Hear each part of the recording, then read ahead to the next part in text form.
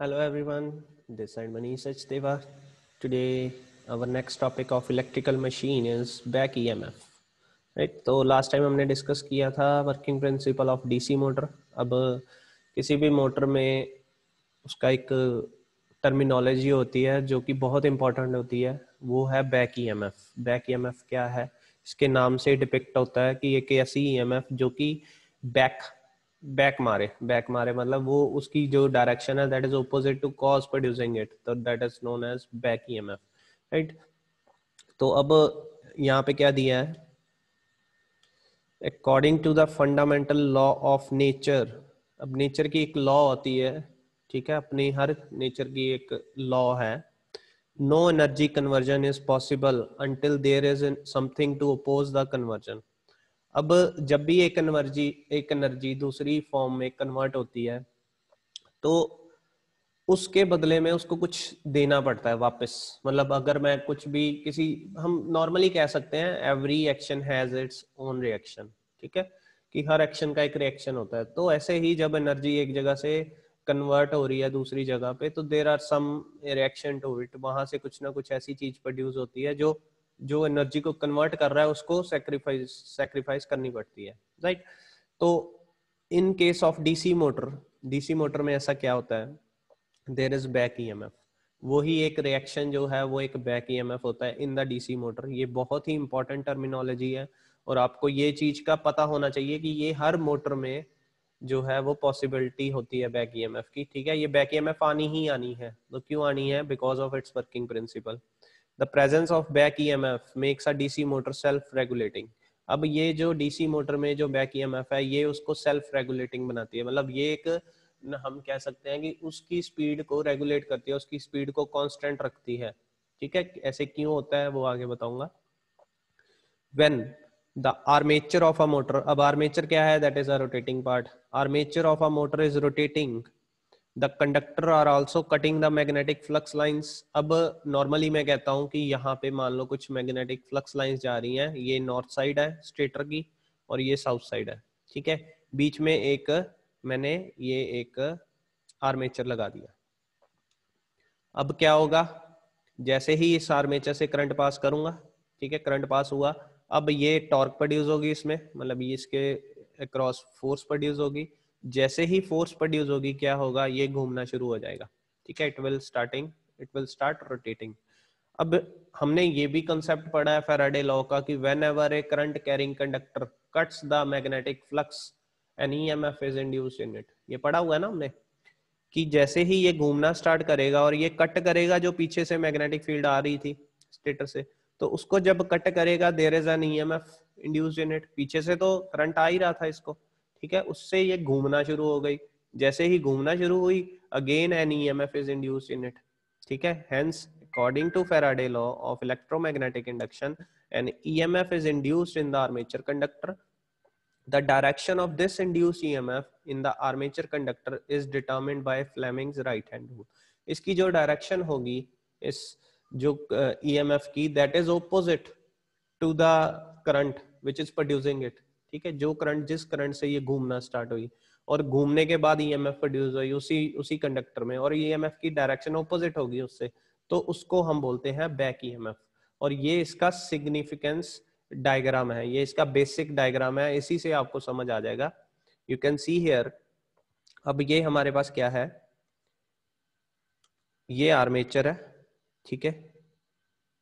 जिसको हम सप्लाई देते हैं। जब सप्लाई देंगे तो ये घूमना स्टार्ट करती है और ये फ़ील्ड वाइंडिंग है जिसको हम एक्साइट करते हैं ताकि जो स्टेटर है वो एज अ मैग्नेट काम करना शुरू कर जाए। वैसे तो वो उसके बने होते हैं आयरन मटेरियल के बने होते हैं, ठीक है? दे आर इलेक्ट्रोमैग्नेट जैसे ही उसको एक्साइट करेंगे, वो एज अ मैग्नेट की तरह काम करेगा और फ्लक्स प्रोड्यूस करेंगे। तो ये डीसी सप्लाई दोनों को दी हुई है।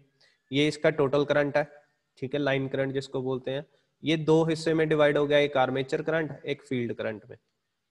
राइट? अब जो आर्मेचर करंट है, आइए, वो जब इसमें से पास करेगा, इस मोटर में से आर्मेचर में से, क्या होगा? एक ईएमएफ जनरेट हुई that is known as back EMF और उसकी जो डायरेक्शन होगी that is upward that is opposite with the IA तो that is known as back EMF ये हर डीसी मोटर में होती है। बट इसका जो मेन मकसद है इंपॉर्टेंस क्या है, वो आगे बताता हूँ। अब, यहाँ क्या बताया है?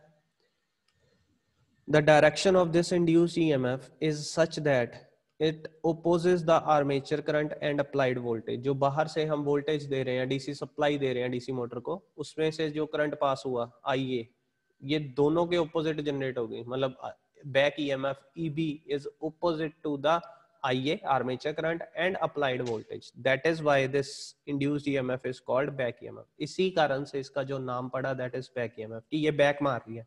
जैसे हम नॉर्मली बैक किसको कहते हैं? जैसे हम किसी बाइक को वो करते हैं किक मारते हैं, ठीक है? तो वो वापस आती ना एकदम से, उसका ऑपोजिट रिएक्शन होता है, अंदर प्रेशर क्रिएट होता है और उसको वापस धक्का मारती है उसी किक को और वो वापस जो उसको किक मार रहा है, उससे, उसको ही वो फोर्स लगाएगी ऊपर की तरफ़। तो पीछे आ रही है ना बैक तो वही चीज़ इसमें है। ये एक ईएमएफ जनरेट करेगी due to that current that applied voltage जो घूमना शुरू हो गया, उसके कारण जो ईएमएफ प्रोड्यूस हुई फेराडे लॉ करंट वो उसकी ही जहाँ से वोल्टेज आ रही है, उसी को वापस वोल्टेज देगी, ऐसे। जे, अगर ये करंट इधर से आ रहा है तो ये ईएमएफ जनरेट होगी, ये इसकी डायरेक्शन उल्टी होगी, ठीक है? The magnitude of this induce EMF is given by ये फॉर्मूला होता है बैक ईएमएफ का, ये नोट कर लीजिए आप। ये किस पे डिपेंड करता है कि कितनी बैक ईएमएफ जनरेट होगी? वो है P P stands for poles कितने नंबर ऑफ़ पोल्स हैं? Z Z stands for number of armature conductors की आर्मेचर के कितनी वायर्स लगाई हैं हमने? नेक्स्ट फाइव एन ठीक है? ये N is basically number of turns ठीक है? सॉरी रेवोल्यूशंस पर मिनट कितनी स्पीड है? 60 A A stands for current ठीक है? तो ये इस पे जो है वो फॉर्मूले के अकॉर्डिंगली हमारी बैक ईएमएफ जनरेट होती है। Simple conventional circuit diagram of machine working as a motor is shown back in this case अब नॉर्मली ये दिखाया हुआ है। इसमें क्या किया है? मैं यहाँ पे क्लियर करता हूँ। ये देखो, ये एक मोटर है जिसपे ईबी e लिखा है। ये EB stand for back EMF इसकी जो डायरेक्शन होगी, वो आई से उल्ट होगी। ठीक है? ये वी है। ठीक है? मतलब ये ईबी e जो है that is opposite with the V applied voltage also right मतलब ये करंट इधर दे रही है, जो ईबी e है, वो वापस इधर देगी। ठीक है तो ऑपोजिट हो गए। अब उन्होंने कहा है in this case the supply voltage is always greater than induced और बैक ईएमएफ अब नॉर्मली ये नहीं होगा कि जितनी हमारे पास वोल्टेज आ रही है यहाँ पीछे से, उतनी ही ईएमएफ जनरेट होगी, ऐसा नहीं होगा। मतलब V can not be equal to E ठीक है this V stand for applied voltage E stand for back EMF EB बोल सकते हैं इसको।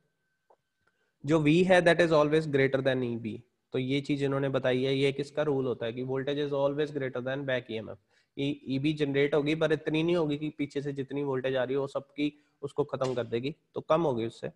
Therefore, current is always supplied to motor from the mains and the relation among various quantities will be ये हमारा formula होगा EB का जो कि क्या होगा वैसे तो देखिए EB is equal to V A R A क्या है? R A is the armature resistance जितनी उसकी रेजिस्टेंस होगी आर्मेचर की, और जितना उसमें से करंट पास होगा, दोनों का प्रोडक्ट करें तो बेसिकली ये बनती तो एक e ही है, ठीक है? ये माइनस करेंगे वी से। मतलब टोटल अप्लाइड वोल्टेज से ये चीज़ अगर माइनस कर दें आई ए आर ए तो वो बन जाएगी बैक ई एम एफ़ ठीक है? It is always less than applied voltage ये याद रखना आपने। तो ये फॉर्मूला है बैक ई एम एफ़ का V minus I A R A ठीक है? आगे चलते हैं। अब सिग्निफिकेंस क्या है? ये बहुत इंपॉर्टेंट है। क्वेश्चन आता है पेपर में what do you mean by back E M F explain it significance तो ये आंसर लिखेंगे उसमें। The magnitude of back EMF is directly proportional to the speed of the motor. अब ये back EMF जो है, जितनी ज़्यादा होगी, उतनी स्पीड मोटर की ज़्यादा होगी। मतलब ये बेसिकली डायरेक्टली प्रोपोर्शनल है स्पीड ऑफ़ द मोटर मतलब ये मोटर की स्पीड को कंट्रोल करता है back EMF consider the load on a DC motor is suddenly reduced अब एक लोड है, किसी भी मोटर को अगर हम लोड को रिड्यूस कर देंगे, क्या होगा? मैं मान लो एक मोटर घूम रही है, इसकी शाफ्ट पे मैंने एक फ़ैन लगाया था, या कह लो हमने एक कुछ ऐसी चीज़ फ़ैन लगा लो। अब फ़ैन का वेट मैंने कम कर दिया तो क्या होगा? स्पीड इंक्रीज हो जाएगी, ठीक है? कोई भी लोड है, अगर मैं इसको ज़ोर से पकड़ के रखूँ, ये घूमना कम कम घूमेगी।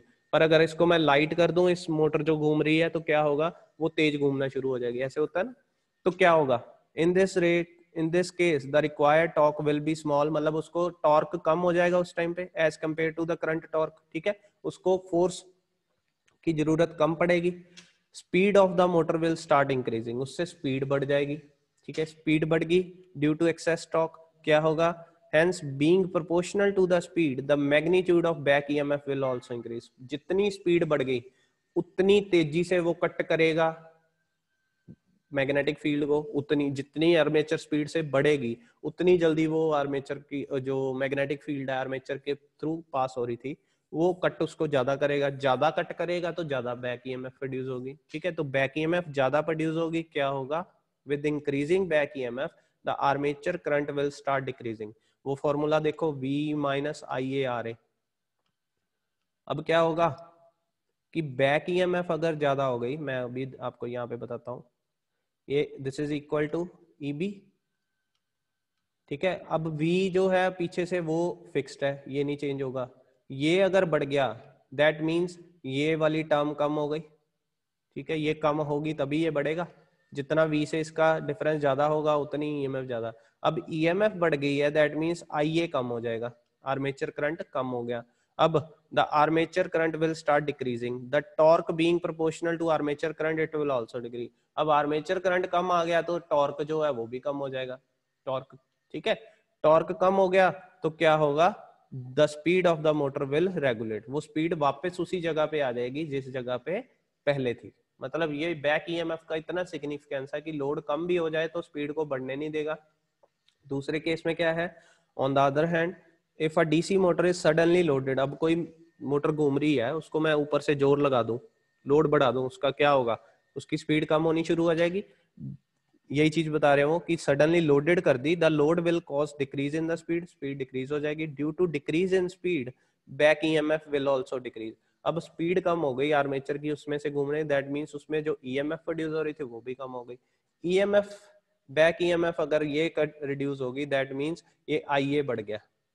आर्मेचर करंट बढ़ जाएगा। क्योंकि करंट ही ऐसी चीज़ है जो घटता, कम कर सकते हैं और बढ़ा सकते हैं। आर ए भी जो है वो कॉन्स्टेंट है वी भी कांस्टेंट है, ठीक है? तो क्या होगा? Which allows more armature current armature current बढ़ जाएगा।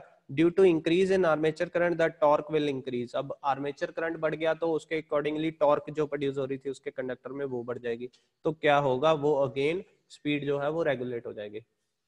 That is how we use dc motor as a best motor when we need a speed regulation.